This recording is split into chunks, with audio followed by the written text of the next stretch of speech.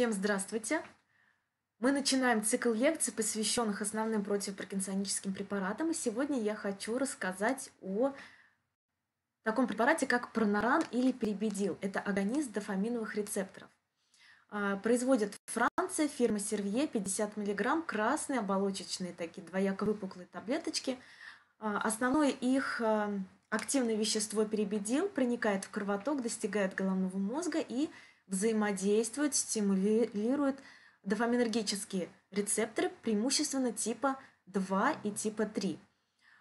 А, что это нам дает? Это дает уменьшение основных противопаркинсонических симптомов. Всех симптомов. Все симптомы а, проноран уменьшает, а, в том числе тремор покоя, в том числе замедленность, в том числе скованность. Три основных момента уменьшает примерно на 30% согласно исследованиям, согласно основным основной шкале UPDRS, которую мы используем на приеме.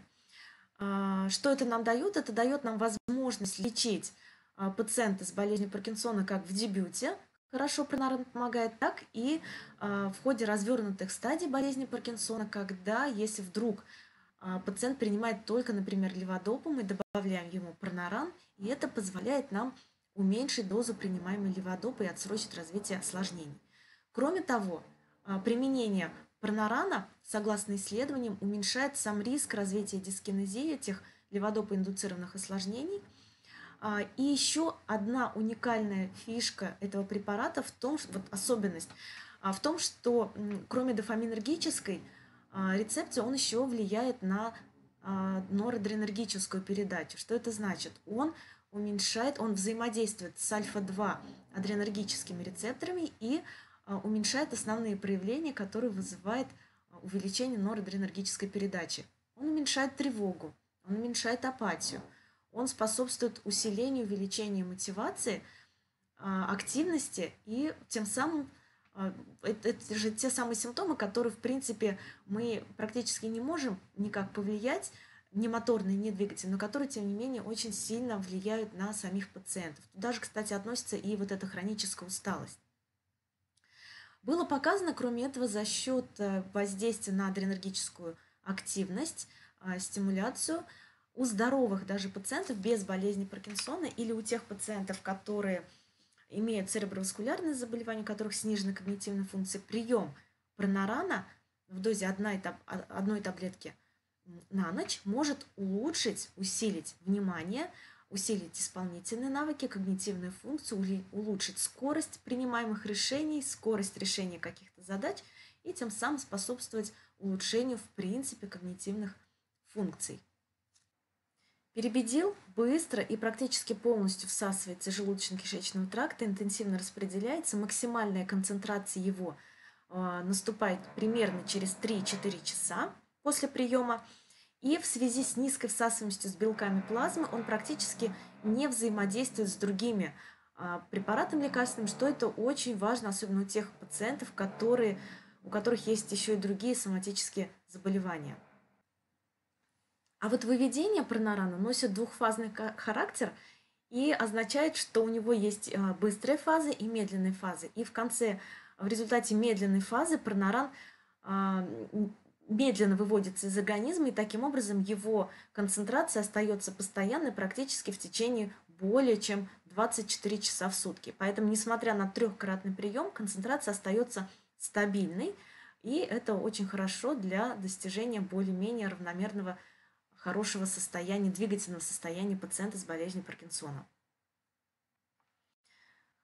А, если говорить о показаниях, а, препарата Проноран, то, конечно, это болезнь Паркинсона с учетом всех ее двигательных и недвигательных моментов. Кроме того, используют ее при снижении когнитивных функций а, ввиду возрастных или цереброваскулярных изменений у пациента. Также его применяют а, при сосудистых заболеваниях нижних конечностей и в офтальмологии.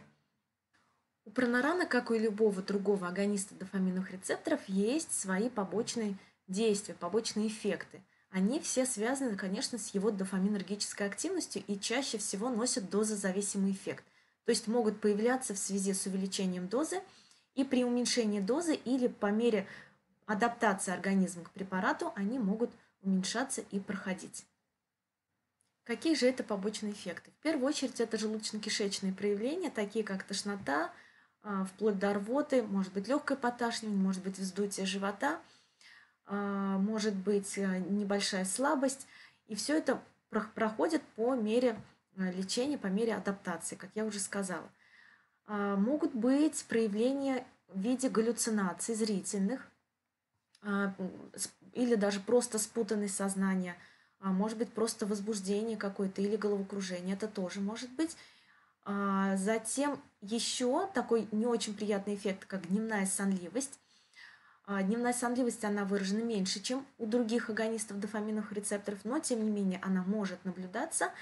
И в этом случае, если пациент водит машину, нужно об этом помнить, потому что в редких случаях дневная сонливость может быть выражена до такой степени, что э, может привести к внезапным дневным засыпаниям, в том числе и за рулем. А, вот об этом моменте обязательно нужно помнить. А, кроме того, так как дофаминовые рецепторы находятся в том числе на, внутри сосудов кровеносных, это может вызвать и снижение давления, падение давления вплоть до статической гипотензии, до предобморочного состояния, до падения в обморок даже – и, конечно, это тоже а, нужно помнить и предубеждать. Именно поэтому титрация очень медленная. А, в течение месяца, полутора месяцев, двух месяцев нужно потихонечку а, дозу препарата наращивать. Что же будет, если пронаран выпить сразу три таблетки в избежание, избежав вот эту нужную схему титрации, тогда мы получим воздействие на рвотный центр, на особые хеморецепторы рвотного центра, и получим симптомы передозировки. Это изменение давления артериального, повышение или снижение, это нарушение функции а, желудочно-кишечного тракта, тошноту, рвоту.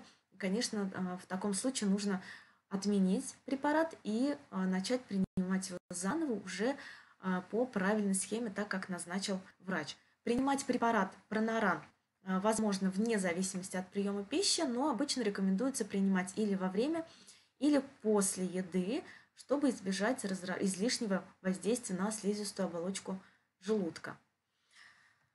А, наверное, все, что хотела я сказать про пронаран. Единственный момент, который я предупреждаю всех пациентов, которые а, смотрят мои ролики, любое самолечение недопустимо.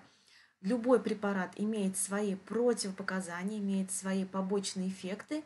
И прежде чем включать в его а, в свою схему терапии нужно обязательно учитывать множество моментов, в том числе и свое состояние, принимаемые препараты, а, с тем, чтобы не навредить. Сделать это лучше с лечащим врачом.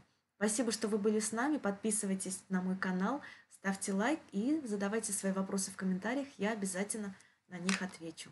Спасибо.